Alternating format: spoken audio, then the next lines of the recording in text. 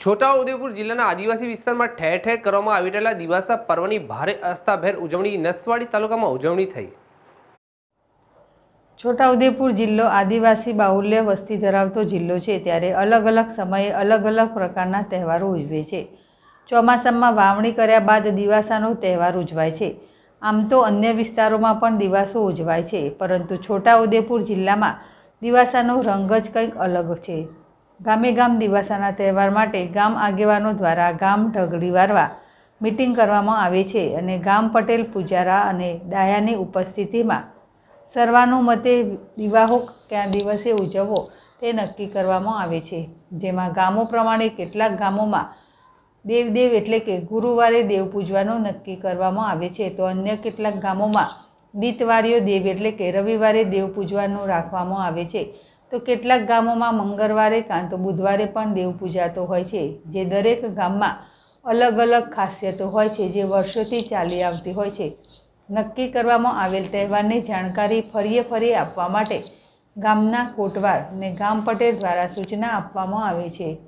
અહીંના આદિવાસીઓ પ્રકૃતિને પૂજવામાં માને છે અને પ્રકૃતિ એ જ પરમેશ્વર. તેમ માનીને સાક્ષાત દેવો જેવા કે ધરતી માતા વાયુ, પવન અગ્નિ, પાણી, મેઘ, નદી, નારા, પર્વતો, ડુંગરો, પહાડો તેમજ પોતાના ખાતરી પૂર્વજોને જે પોતાનો દેવ માનીને પૂજવામાં આવે છે.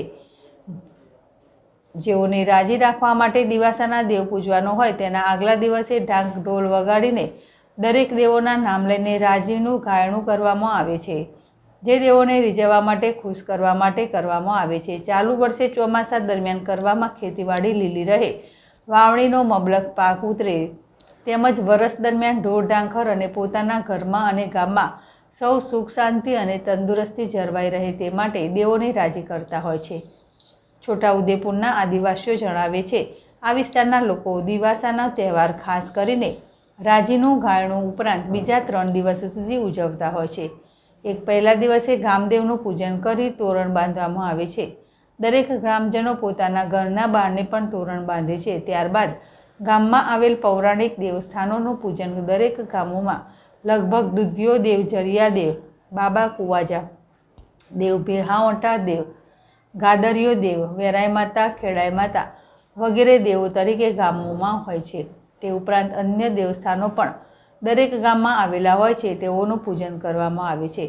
બીજા દિવસે મુખ્ય તહેવાર તે દિવસે ખાસ મનપસંદ વાનગીઓ બનાવીને ખાવાની પ્રથા હોય છે અને તહેવારનું એટલે કે તે દિવસે બપોરે જમ્યા બાદ ગામમાં વર્ષોથી નક્કી કરવામાં આવેલ જગ્યા પર સૌ એકત્રિત થતા હોય છે અને ચાલુ વર્ષે નવા લગ્ન કરેલ હોય તેવી જેટલી પણ ગામની યુવતીઓ હોય તે સૌ યુવતીઓ પોતાના પરંપરાગત આદિવાસી પહેરવેશમાં અવનવા આદિવાસી આભૂષણોથી સજ્જ થઈને ચણાના ડાળિયા સૌને વહેંચવાની દરેક ગામોમાં વર્ષો જૂની પરંપરા છે.